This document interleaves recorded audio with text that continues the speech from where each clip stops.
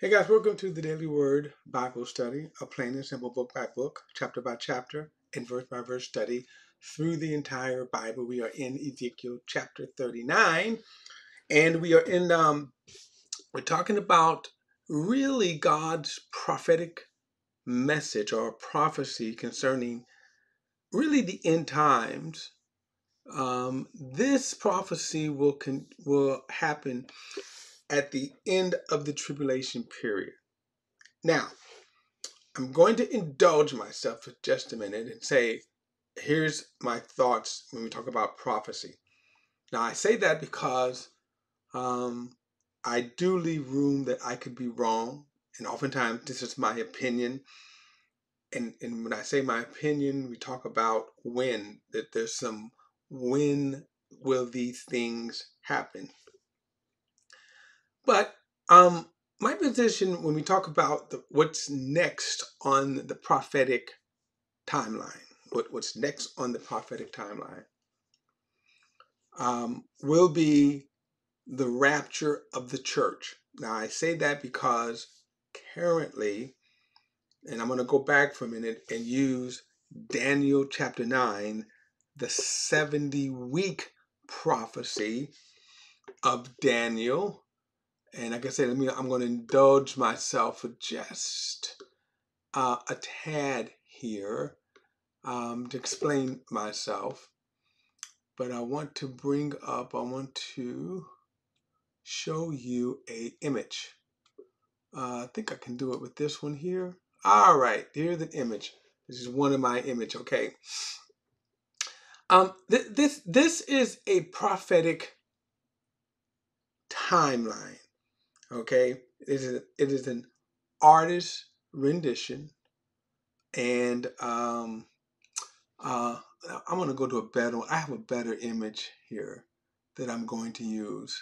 All right, all right. This is kind of a better one, I think. All right. Anyway, this this this this this prophetic picture is found in Daniel chapter two, and it is a it was a dream that God had given Nebuchadnezzar. And what the dream was a prophetic picture, a prophetic timeline, a prophetic um, um, telling of the end times. And what he saw, what Nebuchadnezzar saw was this human statue. And then at the, what you saw, and then the and we'll, I'll explain then the rock that's at his feet. Daniel give, gave him this the, the interpretation of the dream. That's what he saw. This um, um, image where the head of gold, chest and arms of silver, the belly and thigh of bronze. The thigh should have been bronze right here, so not that the best uh, rendition here. But anyway, and then the legs of iron, and then the feet of iron and clay. So the interpretation of this was that Nebuchadnezzar was the head of gold. Now, first of all, it was five world dominating kingdoms that they will rule the world. Okay? And so the head of gold was Nebuchadnezzar, which God said was the greatest kingdom, okay, the most powerful of kingdom. And then the next kingdom, which was the chest and arms of silver, was the king of uh, the king, the empire of the Mede and Persian. And then the next kingdom after that was the be- uh, belly and thigh of bronze, which was the, the kingdom of Greece or the Grecian kingdom. And then the next kingdom was the uh, kingdom of the legs of iron, which was the Roman Empire. Now, those four kingdoms have come and gone. Prophetically, they have come and gone. Okay.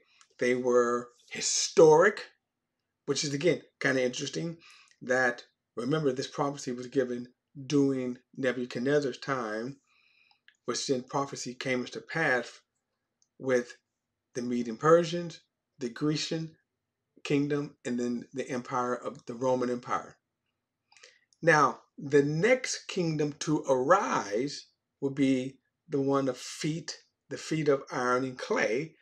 Okay, that empire which will rule the earth um, is yet to come. Now, this kingdom will happen or will arise during the Great Tribulation period. Now, also in Daniel chapter 2, I'm sorry, in Daniel, the book, the book of Daniel, chapter 9, actually, I'm sorry, Dan, Daniel chapter 9, there was another prophecy given, a prophetic timeline, Daniel's 70 weeks. And the 70 weeks were what God planned and purpose that he was going to accomplish with Israel, the, the, the, the, the people of Israel, the uh, temple, and the city of Jerusalem. 70 weeks. It was a 70 set of seven year periods of time.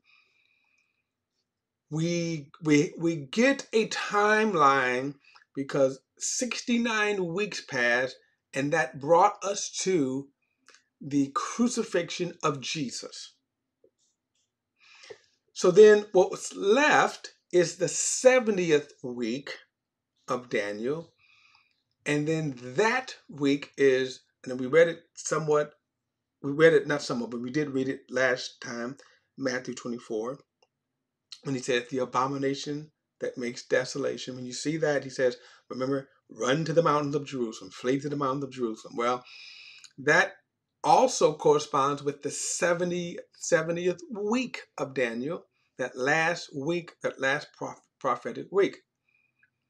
Which means then that what, what what the image of Nebuchadnezzar, what he saw was that doing the kingdom of the feet of iron and clay, he said, doing this kingdom, Jesus will set up a kingdom that will never end. And so, in this image that Nebuchadnezzar saw, the rock represents the kingdom of God, the kingdom of Jesus. And he says that you saw this rock that was not made with hand, that was not carved out with hands, and it struck this image at its feet, which gives us a timeline. It struck the, uh, the kingdom at its feet and pulverized the image. Now, the image here is what? Human government, man's time. And from that time, from that point, Okay, from that time, God then sets up a kingdom, okay, that will never end. Then that happens during this time of the feet of iron and clay. Okay, so that that so when so when we, so now what we're waiting on is the conclusion, which is the 70th week. So now we have to look at well, well what happens between the week 69 and then the week 70. Well, we know, according to the prophecy, Jesus is crucified, he's cut off. But something else happens during this week. Now, it just so happens that this has been an extended time. So now, for the last 2,000 years, we've kind of been in uh, been between this this this week 69 and week 70. So what is God doing so let me, um,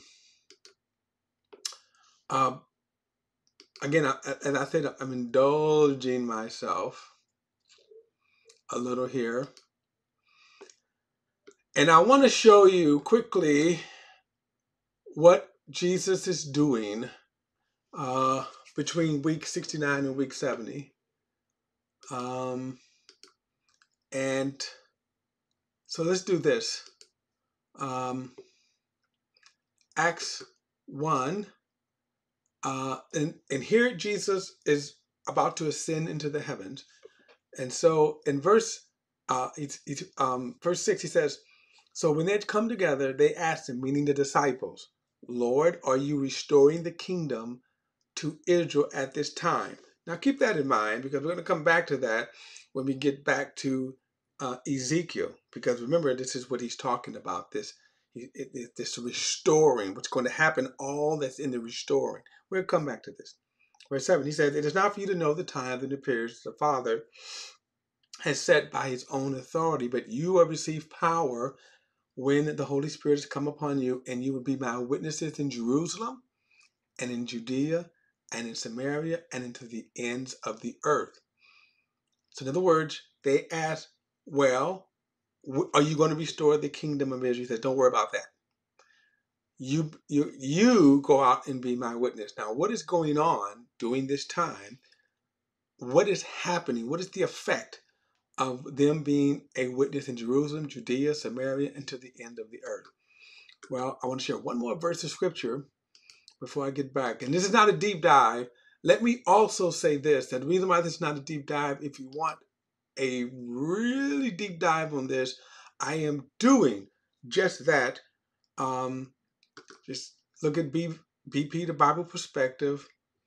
Um, and I think on my play, uh, playlist, it, it, it has, you know, the, the videos about the end times that I'm doing one specifically about the rapture eschatology with the view of the rapture. In fact, I just posted uh, the 40th video. So we're doing an, an in-depth study of this. So um, Ephesians chapter um, 2. And um, here's what I want you to see right here, something that he says right here. Um, Paul is talking to the Gentiles, and again, uh, if you want more details, uh, uh, go to those other videos, which I, they're entitled "The Rapture." Okay, excuse me, the Rapture. Uh, I think it's like the Rapture 18, and then just different. Uh, that it, it, uh, the, I mean, the Rapture, and you got my the, the, from one to 40. Okay. Um, but um, verse 17 says, "When he when the Messiah came." He proclaimed good news of peace to you who were far away and peace to those who were near. So remember, this is what he's doing. Remember, he told them to go out and he preached the gospel. He said, You go out and you preach the gospel. And he says, And when the Messiah came, he preached the gospel. And by the way, this corresponds to the Messiah being cut off in the week 69. And so week 70 hadn't appeared yet. So then he says, For through him we both have uh, access by one Spirit to the Father, so you're no longer foreigners and strangers, but fellow citizens with the saints and members of God's household, built upon the foundation of the apostles and prophets, with Christ Jesus himself as the cornerstone. And then he says, verse 21, look, the whole building being put together by him grows into a holy sanctuary in the Lord. You also are being built together for God's dwelling in the Spirit. I want you to pay attention to something here. Notice he says here, um, when he says that we this this being members of God's household, verse 21, the whole building being, right? So that's a being put together by him, and then he says, grows into a holy sanctuary in the Lord. And then he says, then you are being built you are being built together for God's dwelling in the Spirit. Now, I want you to kind of keep that thought in mind because now, between week 69 and week 70, this is where we are prophetically. Now, when this building is complete to God's satisfaction, then I believe the church age, this age will close out with the rapture.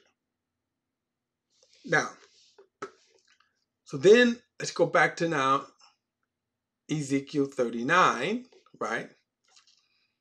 And then we get into this time. Well, let me do this just for continuity's sake.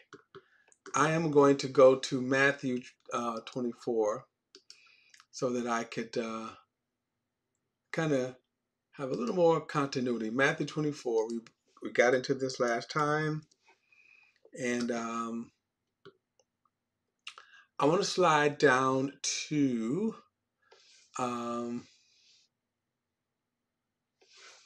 uh, I'll pick it up at verse 14 because I'm going to make a point here. It says, This good news of the kingdom will be proclaimed in all the world as a testimony to all nations, and then the end will come. Now, as I said, this is talking about the age of the church in that this is what we're supposed to be doing preaching the kingdom. Notice this in all the world.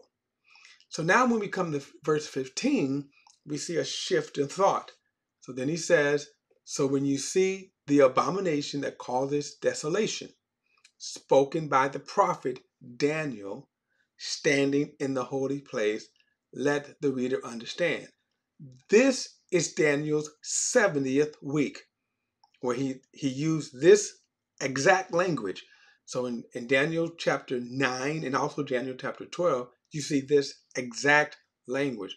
So it corresponds to Daniel's 70th week, which brings us then to the end of the age when that week is concluded.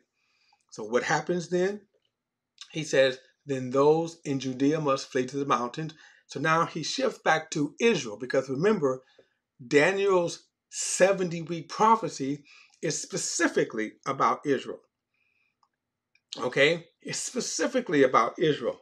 What is going on in Israel? And he tells them, a man uh, who is on the house, he said, I'm sorry. So when you see the abomination of called desolation, those in Judea. So remember, he shifts from in verse 14 being the gospel being preached all around the world to what? Now he talks about those in Judea, right? So he shifts back to the prophecies that specifically tell us what's going on with Israel. Those in Judea must flee to the mountains. Okay, now let's go because we see this same language here, don't we? This whole idea about this mountain. So let's read it again. Uh, verse 1 As for you, son of man, prophesy against Gog and say, This is what the Lord God says. I'm against you, Gog, chief prince of Meshech and Tubal. I will turn you around, drive you on, and I will lead you up from the remote parts of the earth, and I will bring you against the what? Mountains of Israel. Then I will knock your bow from your left hand and your right hand to make your arrows drop uh, from your right hand. You, all your troops, and the people who are with you will fall what? On the mountains of Israel, okay? And I will give you as food to every kind of predatory bird and to the wild animals, and you will fall in the open fields, for I have spoken. This is the declaration of the Lord God. Now we kind of we got to we showed you some the verses of how this is going to unfold, right? In in, in Zechariah chapter 14, Revelation chapter 19, when Jesus come, that he will just smite this vast army. Okay? This vast army. Uh, verse 6 says, I will send fire against Magog and those who live securely on the coasts and inlands, and they will know that I am Yahweh. So I will make my name holy among my people Israel, and will no longer allow it to be profaned, then the nations will know that I am Yahweh and the holy ones in Israel. Then he says, Yes, it is coming and it will happen. This is the declaration of the Lord. This is the day I have spoken about. For this day of the Lord, Jesus speaks about it when he talks about um, um, the great tribulation right? So all of this is what now Ezekiel is talking about, and when, we, when, in the next study we will get more into it, obviously, uh, because there are some things again that's that's going to be fascinating about what is kind of what is going on during this period of time. Okay, and I'll get more into that in the next study. Don't forget to like and share this video and subscribe to BP the Bible Perspective. And as always, if you have a thought or comment, add it to the comment section below. All comments are welcome. And I will see you in the next study.